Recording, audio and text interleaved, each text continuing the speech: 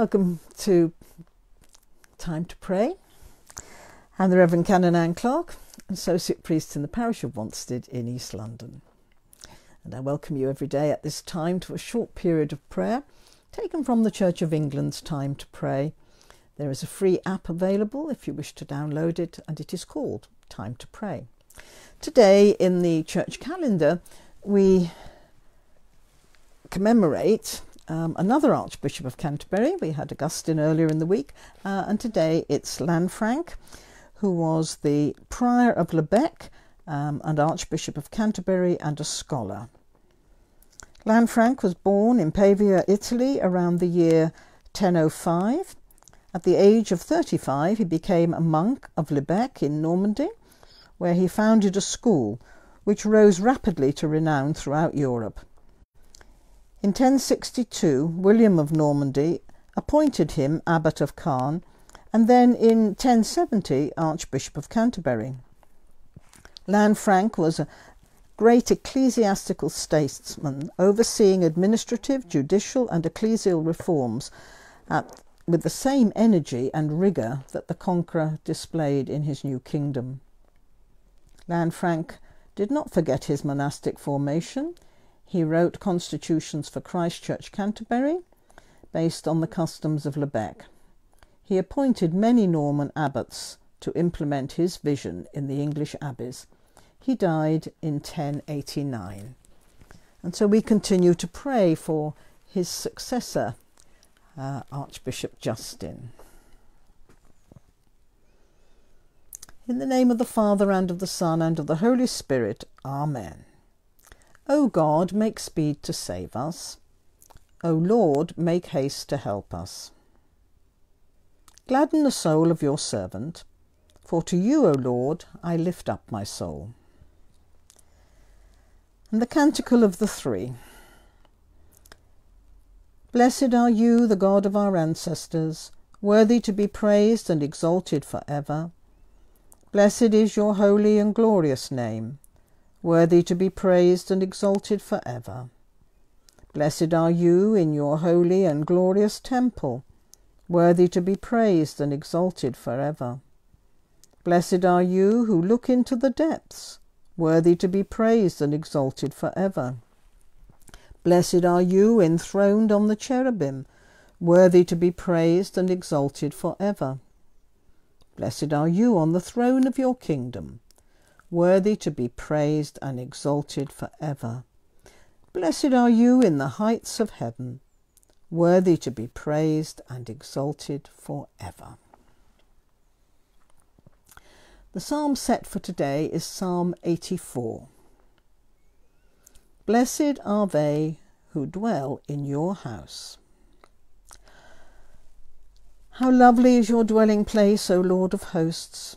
My soul hath a desire and a longing to enter the courts of the Lord. My heart and my flesh rejoice in the living God. The sparrow has found her a house, and the swallow a nest where she may lay her young. At your altars, O Lord of hosts, my King and my God. Blessed are they who dwell in your house. They will always be praising you. Blessed are those whose strength is in you in whose heart are the highways to Zion, who, going through the barren valley, find there a spring, and the early rains will clothe it with blessing. They will go from strength to strength, and appear before the God before God in Zion. O Lord God of hosts, hear my prayer. Listen, O God of Jacob. Behold our defender, O God, and look upon the face of your anointed. For one day in your courts is better than a thousand. I would rather be a doorkeeper in the house of my God than dwell in the tents of ungodliness. For the Lord God is both sun and shield. He will give grace and glory. No good thing will he withhold from those who walk with integrity. O Lord God of hosts, blessed are those who put their trust in you. Blessed are those who dwell in your house. Lord God, sustain us in this vale of tears with the vision of your grace and glory. that strengthened by the bread of life, we may come to your eternal dwelling place in the power of Jesus Christ our Lord. Amen.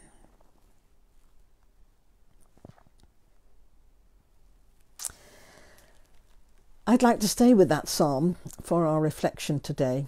Um, it it is a beautiful psalm, and it's probably um, one of my favourites, if not my absolute favourite. Uh, I remember coming, getting to know this psalm in my teens, and it was at a time when I was um, desperately thinking that I, would, I was being called to be a priest, and yet I knew that that was barred to me. Um, and this psalm somehow spoke to me because it talked about the dwelling place of God. How lovely is your dwelling place, O Lord God of hosts. My soul hath a desire and a longing to enter into the courts of the living God. And those that lovely, those lovely, that lovely verse with the sparrow. Um, obviously, I learnt it in the 16.2 1662 version. The sparrow hath found her an house, and the swallow a nest where she may lay her young. Even thine altars, O Lord God of hosts, my King and my God. The idea that within God's dwelling place there was a home even for the sparrows and the swallows. And it was such such a special psalm, and it says, Blessed are those who dwell in your house, they will always be praising you. And then verse 9 for one day in your courts is better than a thousand. Uh, some translations um, add elsewhere, for one day in your courts is better than a thousand elsewhere. But however we read that verse, it is saying that just one day, one day is enough in the courts of the house of God. And then it goes on, I would rather be a doorkeeper in the house of my God than dwell in the tents of ungodliness.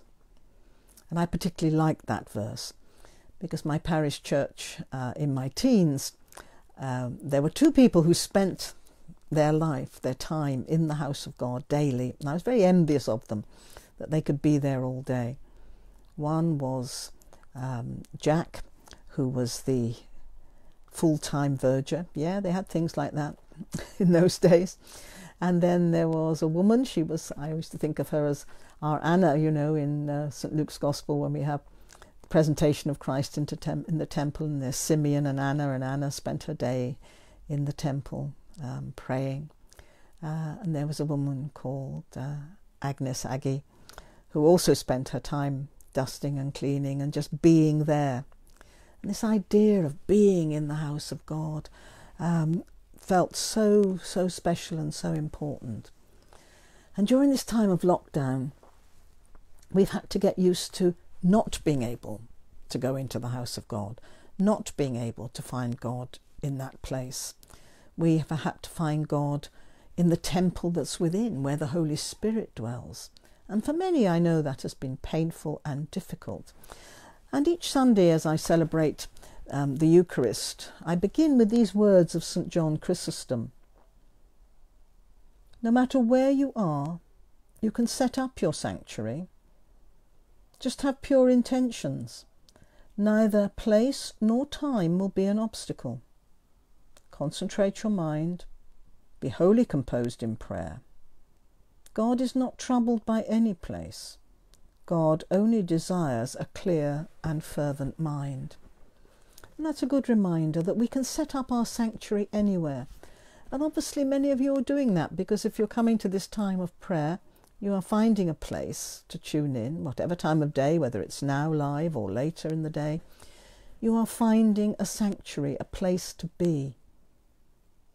And that sanctuary is just as important as the one with bricks and mortar, the church because John Chrysostom says just have pure intentions. We just need to have the intention that we want to be in the presence of God. Because he says neither time nor place, so it doesn't matter when we do it or where we do it, neither time nor place will be an obstacle. He says concentrate your mind. Be wholly composed in prayer. We've been lucky, some of us, in this time of lockdown, to be able to give more time to prayer to not be always rushing about and being busy. For those of you perhaps who have families and young children and so on, it is always difficult to find that sanctuary, that place, because oh, even the loo isn't sacred, is it, if you've got very young children? But wherever you can find a moment of peace, a moment of quiet, that sanctuary, neither place nor time will be an obstacle, he says. Because God isn't troubled, says John Chrysostom, by any place, doesn't matter where. God only desires a clear and fervent mind. And so, as we miss our places of worship, let us rejoice that we can find that inner sanctuary within. Let us make the best of this time to draw nearer to God so that we may dwell with Him forever. Amen. Blessed are those who mourn, for they shall be comforted. And in our prayers today, I'd like us to focus on, on two things. One, um, on schools as they prepare to begin to open on Monday, and also as we commemorate um, Frank and uh, the um, being Archbishop of Canterbury, and the church as an institution, and the church as a sanctuary and a place. I'm going to focus on our churches.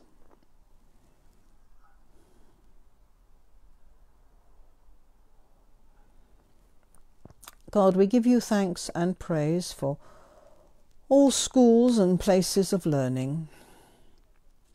We pray at this time, especially for primary schools as they prepare to open where they can on Monday. And we pray especially for the schools in our own parish, for our own parish school, Wanstead Church Primary School, for Natalie, the head teacher, for the staff and all those beginning to prepare, for parents and children. We pray especially for those who are anxious about returning, for all those who are not sure whether it is safe or not, for all those who know that they cannot return because it is not yet safe for them or for their family or for whatever reasons. We pray especially for the well being of all children and for those who are most vulnerable, for those who have not had the luxury of being taught by parents who want to spend time with them and help them and guide them and have the resources to do so. We pray for those who have struggled at this time, have lacked resources, and have lacked parental support. We pray for the other schools in this community, the primary schools, Our Lady of Lourdes and Snaresbrook, and any other schools beginning to return on Monday.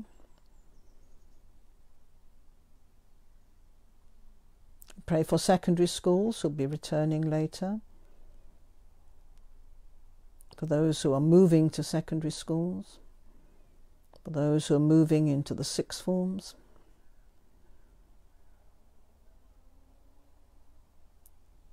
For universities, colleges, and those who are coming to the end of their courses, submitting their dissertations and final works and for all who are anxious about the future, their future jobs, their future college places.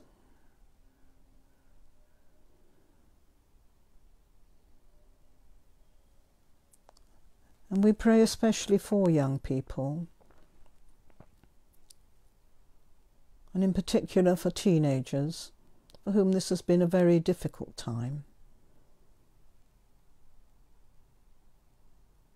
And we pray that as the lockdown is gradually lifted, we pray for their safety. I think many are beginning to regroup. We pray for those who have been associated with gangs, for those who are involved in drugs. Pray for all who are vulnerable.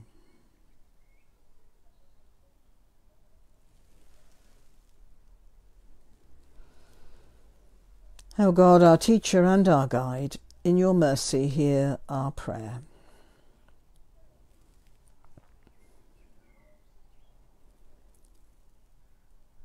And as we miss our places of worship, we pray for our churches, for the churches of our own parish, St Mary and Christ Church. We pray for our ecumenical friends. We pray also for people of other faith also locked out from their sacred spaces. For Muslims, Hindu, Sikh, and Jews of this neighbourhood and elsewhere.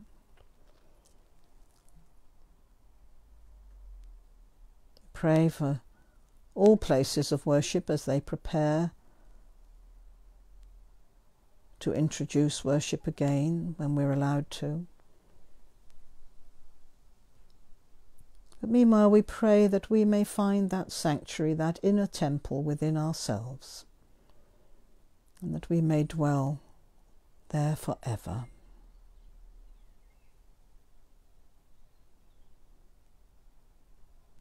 God, in your mercy, hear our prayer.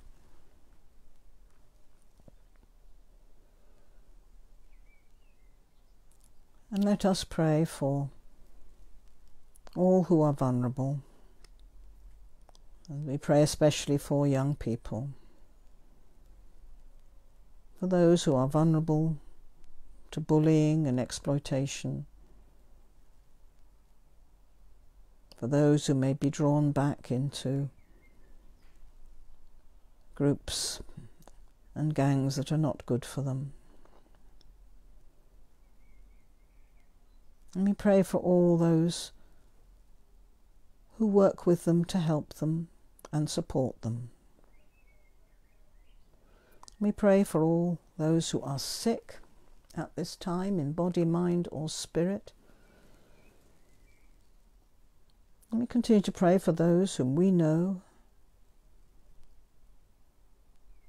Continue to pray for Avril's dad, Leslie. And in your hearts, name anyone you know who is sick at this time.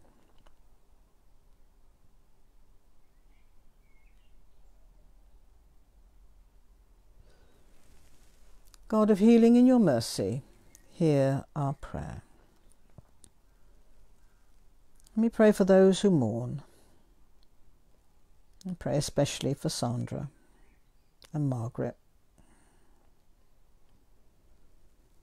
Let me pray for those who have died, those who've touched our lives for the good and are now at rest, our own departed loved ones. And among the recently departed, we remember Jeff.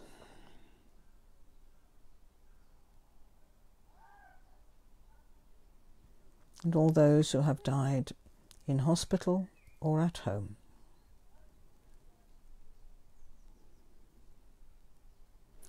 Rest eternal grant unto them, O Lord, and let light perpetual shine upon them. May they rest in peace. In a moment of silence, I invite you to bring your prayers and petitions before Almighty God.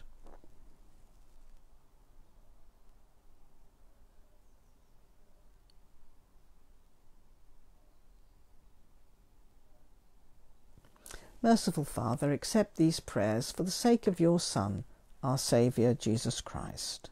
Amen.